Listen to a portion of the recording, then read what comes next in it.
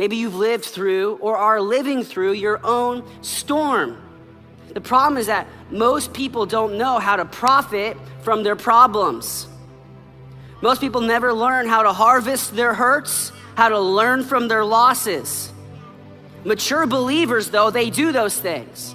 They advance through adversity. And if you don't do that, instead of becoming better, you're gonna become bitter, and God's not gonna be able to use you the way that He wants to. So you got to trust Him in difficult situations that even when it looks like everything is breaking down around you, if you trust in the Lord, you can experience incredible breakthrough and see God work in mighty, miraculous ways. When you feel and see nothing, believe by faith that God is up to something. You see, the struggle is a setup.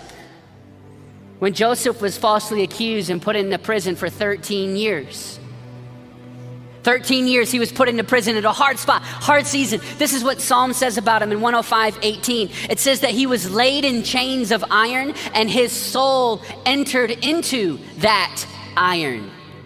That's a powerful verse. What is that saying? That's saying there was something that happened on the inside of him when he was put into a hard place. Perseverance grew, his prayer life grew, his faith grew strength grew on the inside. There was something that happened in that place when he was chained up, when he was in prison, that could only be solidified in him during that place, during that hard time. What am I saying, friends? There are some things that only come to us spiritually the hard way. And they're not fun, and, and we don't like to praise and shout about it. But the reality is, is there is great hope knowing that though it's hard, God is up to something. That though it is hard, God is doing a significant work in my life. That though it is hard, God is preparing me for something that is ahead of me. If you believe it, can you say amen? Everything you're going through is preparing you for what you ask God for. You just got to quit tripping while you're in the process because the process is necessary. You may not see it now, but when he gets you on the other side of it, you're going to see exactly why it went that way. And you're going to be okay with it. God is processing you, He ain't through with you. And though he slay me, yet shall I trust him. You see, in order to develop real quality, it takes time and it takes pain and it takes endurance and it takes grief and it takes trouble and it takes turmoil and it takes destruction and demolition. Demolition is a messy thing. If you get ready to remodel your house, expect to have some mess. I want you to see it almost like a seed. All of you have seeds in your life, dreams and potential. Well, a seed doesn't germinate and grow just sitting on a shelf and light, nice and cozy and comfortable. A seed has to be taken and it must be buried into a dark place. It must be buried into a hard place. It must sit in a place that's hard. For it to germinate, for it to grow, for the potential that is on the inside of it to come to fruition. And the same goes for our lives. Is yes, there's mountaintop moments and there's hills and they're great and they're awesome and I love living there. But there are also seasons to our journey where we come into a hard place, hard season, lonely times, it gets difficult, and it's in those seasons where God is wanting to bring something out from the inside. God wants to do something. I want to encourage you don't complain if you're in a hard season right now, recognize the opportunity that is before you to allow God to do whatever it is that He's designed to do in this season. There is something significant that God is wanting to draw out of you in this hard time. You see, if you're going through some dirt as a believer, be reminded that the dirt is necessary for the seed to become all it was created to be. There's got to be a little bit of dirt in our lives at times for God's promise to be fulfilled. And often I'll, I'll, see people, they go through hardship, they go through tragedy, and they make the mistake of running from God. They run from God. They get mad at God, they become disappointed in their situation, and they run from God. And I understand that human reaction, but my question would be who are you running to?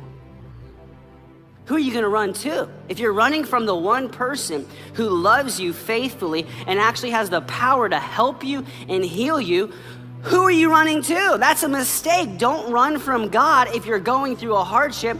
Turn to God, draw near to God. Romans 8 28, and we know that God causes some things. Is that what it says? No. It says we know that God causes what?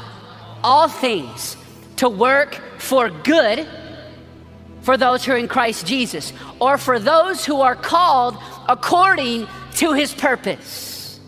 God has a purpose for your life, a distinct plan for your life that you are called to.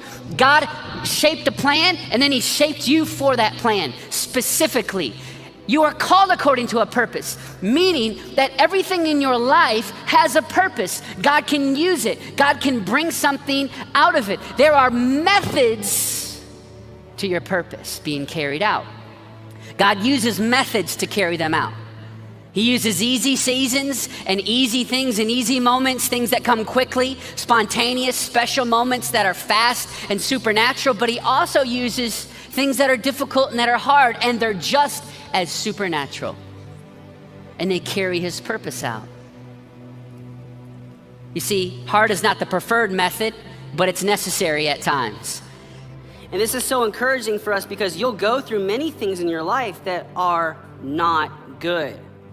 Being laid off is not good. Going through a divorce, not good. Having a miscarriage, not good. Having your father in the hospital is not good. But when you put these things in God's hands, when you trust Him over time, you have the promise that He is going to work all these things together for good. That means that if it's not good, God's not done. He's still working. If you say, well, it's not good yet, that means God's not done. He's still working it together. He's still moving in ways you don't even see. Sometimes it's not till later that you look back and realize how he worked it together for good. So, in the meantime, even when you don't understand what he's doing, trust in who he is. You know his heart, you know that he's faithful, you know that he's lo- he loves you, and he has a plan for your life. So, don't fight the dark places, the hard times, grow in them. Don't fight them, grow in them. There may be dirt all around you, it's comfortable, but that dirt is not there to stop you. It's there to bring out the greatness in you. My encouragement is seek his best over easy. And when you do that, I believe that you'll reach your destiny. That in this season, when you seek his best and not easy, you will fulfill your destiny. You'll go to new levels. You will pass tests you will get what He was wanting you to get in this season for what huge things He has for you ahead. Let's trust Him. Let's grow. Let's be mature believers. Amen.